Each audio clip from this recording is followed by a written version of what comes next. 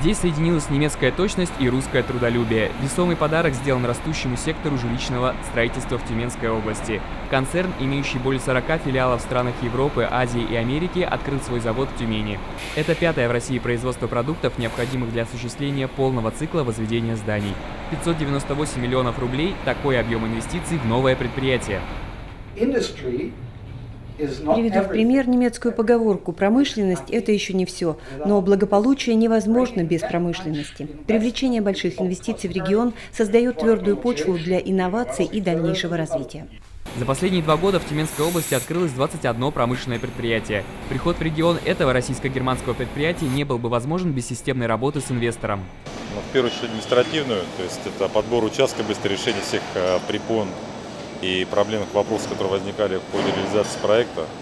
А на сегодня также мы обсуждали и одно время даже, по-моему, предоставляли налоговые льготы небольшие, правда, потому что 5 строилось и пока еще не успела воспользоваться полной мере налоговыми льготами. Весь производственный цикл максимально автоматизирован. Оборудование способно производить около 120 наименований продукции. 80% уходит на рынок Уральского федерального округа, а 20% отправляется в Сибирь и на Дальний Восток. Интересно, что компания не спешит выводить завод на проектную мощность. 120 тысяч тонн продукции здесь будут выпускать через несколько лет. Наша стратегия моего немецкого партнера делать с запасом у нас э, сейчас э, в ближайший год-два максимум будет использоваться 20-25%. Мы сознательно на это пошли, потому что мы верим в развитие индустрии в Тюменской области, на Урале. Более того, мы приняли решение инвестировать больше сюда и пока не делать в Сибири, потому что нам достаточно мощностей. Соответственно, задача развивать Вместе с заводом в регион пришла компания, способная самостоятельно решать уникальные строительные задачи. Продукция и технологии компании уже использовались при строительстве и в ремонтных работах на федеральных объектах. Отделка Мариинского театра в Петербурге, бетонирование башни и сеть в Екатеринбурге и ремонт Саяно-Шушинской ГЭС имени Непорожнего.